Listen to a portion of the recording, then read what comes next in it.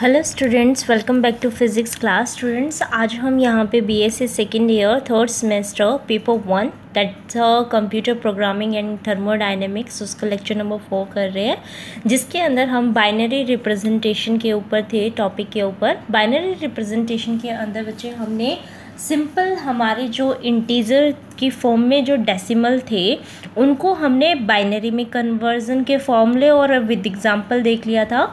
और हमने बाइनरी से इंटीजर फॉर्म के डेसिमल का भी हमने रूल्स और एक एग्जांपल देख लिया था राइट आज हम जो करने जा रहे हैं, वो करने जा रहे हैं, अगर हमें फ्रैक्शन के फॉर्म में दे दिया जाए। फ्रैक्शन के फॉर्म में कोई भी डेसिमल दे दिया जाए, उसके अंदर हम कैसे उसको बाइनरी में चेंज करेंगे और फिर बाइनरी से दोबारा से उस फ्रैक्शन फॉर्म के ऊपर कैसे आएँगे, हमें ये देखना था राइट तो इसके अंदर अब देखिए एक एग्ज़ाम्पल पहले रूल्स लिख लीजिए, ठीक है?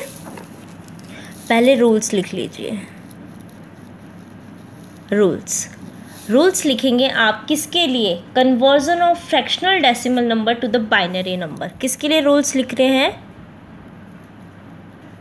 Conversion of fractional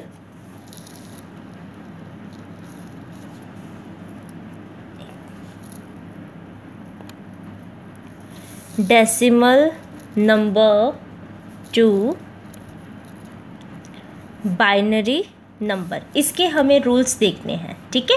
तो रूल नंबर वन, आपका इसका क्या रहेगा? पहले रूल्स देख लीजिए, फिर उसको समझाऊँगी। जैसे हमने पीछे किए थे, पहले आप रूल्स देख लीजिए।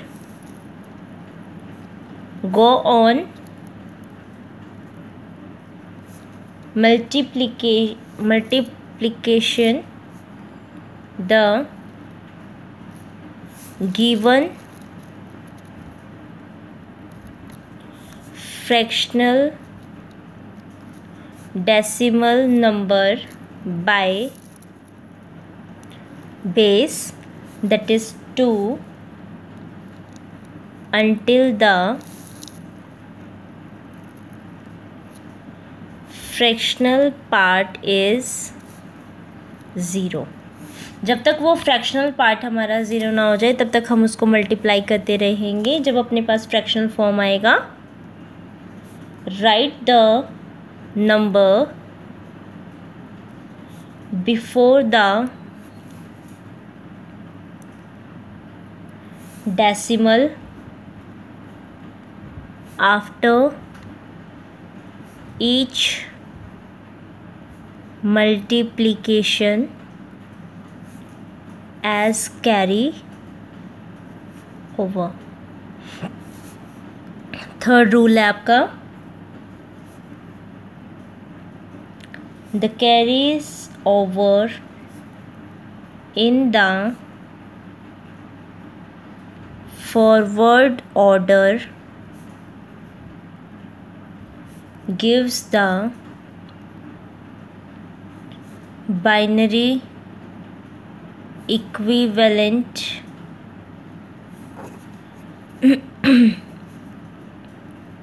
of given fraction number ठीक है? तो इसके लिए हम क्या करते हैं बेटा? एक एग्ज़ाम्पल लेके चलते हैं। ठीक है? उससे आपको समझ में आएगा। सपोज़ आपको मैंने दिया हुआ है डेसिमल के उसमें फ्रैक्शन में एक नंबर और उसको आपको बाइनरी नंबर में करना है। तो convert zero point eight seven five जो कि डेसिमल में था इनटू बाइनरी ठीक है? इसका मतलब भी क्या होता है कि ये नंबर पूछना चाह रहा है जो कि बेस टू में निकलेगा, यानी कि बाइनरी में निकलेगा। ये समझ में आ गया आपको? ठीक है? तो इसका मतलब यही होता है। अब आपको क्या करना है बेटा इसके अंदर देखो। आपको जो ये नंबर लिखा हुआ है ना, इसको लिखो। Zero point eight seven five था। इसको आपने टू से मल्टीप्लाई कर दिया, ठीक है? तो दो पंजे दस की एक, दो सत्ते चौदह और एक पंद्रह की एक। दो अठे सोलह, सत्रह और एक यहाँ चला गया।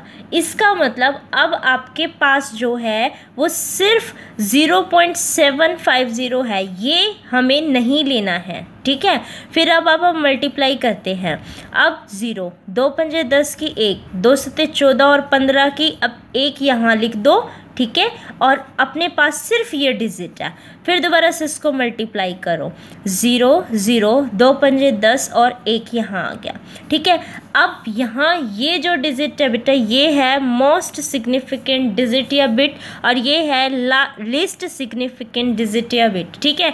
आपको जो लिखना है मोस्ट से लिस्ट तक का लिखना है, यानी कि ये आपके पास कितना हो गया? Zero point one one one ये किसमें आ गया? आपका बाइनरी में कन्वर्ट होके आ गया है। अब आप ये सोच रहे होंगे कि मैम ये कब तक करें? भाई ये कब तक मल्टीप्लाई करते रहें? आपको तब तक मल्टीप्लाई करना है जब तक ये रिज़ल्ट इस तरीके से या तो ज़ीरो ना हो जाए, या फिर इसका ये रिपीट करेगा ना तो आप उस रिक्रेंस को छोड़ दोगे। सपोज़ यहाँ पे ये सेवन फाइव ठीक है? फिर यहाँ पे एट आ गया, फिर five five five five five five आ गया तो वो जो ऊपर वाला फाइव है ना, आप जस्ट वहाँ तक लेके चलोगे। आप जस्ट वहाँ तक लेके चलोगे और वहीं तक ही इसका आंसर बता के आओगे। क्यों? क्योंकि इसका जब मैं इसको कन्वर्ट करके दोबारा डेसिमल में देखूँगी ना, तब आप देखना कि वो आगे वाले नंबर बहुत छोटे होते जाएँगे, ठीक है? जिसकी वैल्यू फिर दोबारा से वो बहुत कम उसमें आ जाएगी तो उसकी वैसे भी नीड नहीं है। हमें सिर्फ़ तीन डिजिट तक का ही रिप्लेस करके देखना था। तो हम जस्ट इसको इसी तक ही यूज़ करेंगे, ठीक है? हम जस्ट इसको यहीं तक ही यूज़ करेंगे। अब देखो, अब इसका ये तो आपने जस्ट फ्रैक्शन फॉर्म को बाइनरी में कन्वर्ट किया था। अब हमें क्या करना है? बाइनरी से उस फ्रैक्शन फॉर्म के अंदर लेके आना है उसको। बाइनरी से उस फ्रैक्शन फॉर्म में लेके आना है। तो अगर लेके आना है तो उसके रूल्स भी लिखने पड़ेंगे। तो आप रूल लिख लीजिए। किसके लिए लिख रहे हो? पहले तो ये लिखो, ठीक है? किसके लिए लिख रहे हो? हम क्या कर रहे हैं यहाँ पे? कन्वर्जन कर रहे हैं of fractional binary number into decimal number ठीक है? तो इसके लिए आप क्या करोगे? रूल्स लिखिएगा first multiply the bits by two raise to power minus n और एन की वैल्यू अब वन टू थ्री होएगी। पता ही क्यों होएगी? वो इसलिए होएगी क्योंकि डेसिमल से इस साइड की जो डिजिट है, वो आप टू की पावर ज़ीरो टू की पावर वन टू की पावर टू से स्टार्ट कर रहे हो। तो इस साइड की डिजिट टू की पावर ज़ीरो से दोबारा कैसे शुरू करोगे? ये होएगी टू की पावर माइनस वन टू की पावर माइनस टू इस तरीके से स्टार्ट होएगी। इसीलिए हम यहाँ पे क्या करते हैं टू की power minus one minus two इनसे मल्टीप्लाई करेंगे। तो यहाँ पे ये वन टू थ्री इसलिए मैंने इसको ऐसे लिखा है। समझ में आ गया? ठीक है? चलिए, और स्टार्ट करना है।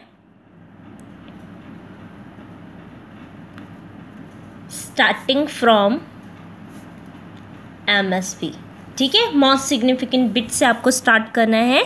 सेकेंड स्टेप इसके अंदर है। The sum of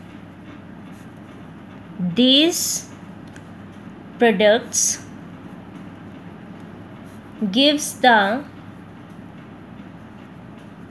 equivalent decimal number ठीक है?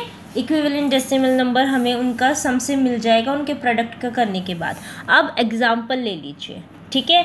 एग्ज़ाम्पल के अंदर सपोज़ मैंने इसके अंदर लिया है आपका zero point one zero one अब आपके मन में ये आ रहा होगा, मैम, पीछे वाला ही ले लो। तो पीछे वाला ले लेते हैं वेरीफाई करने के लिए, है ना? तो पीछे वाला लिया मैंने, कितना आया था? Zero point one one one आया था। तो मैंने वही ले लिया कि कन्वर्ट करो zero point one one one binary को इनटू द डेसिमल बेस ठीक है? इसका मतलब यही हो गया ना पेपर में इस फॉर्म को समझ जाना, क्या कहना चाह रहा है। ठीक है कंफ्यूज नहीं हो ना। यहाँ टू है तो यानी ये बेस में है बाइनरी में है। यहाँ टेन है, इसका मतलब ये डेसिमल में है। तो बाइनरी से डेसिमल की चीज़ों को ही सॉल्व करना आप लोग। ठीक है, ये चीज़ ध्यान रखना। अब देखो, इसके अंदर क्या है? Zero point one one one तो टू की power minus one minus two two की पावर माइनस थ्री ठीक है, ये कितना हो गया आपका? वन इंटू टू की power minus one plus one into two की power minus two plus one into two की पावर माइनस थ्री ठीक है? तो ये कितना आ गया आपका? वन बाई टू यानी कि ज़ीरो पॉइंट फाइव प्लस यहाँ कितना हो गया? वन बाई आपका फोर वन बाई फोर कितना होता है आपका?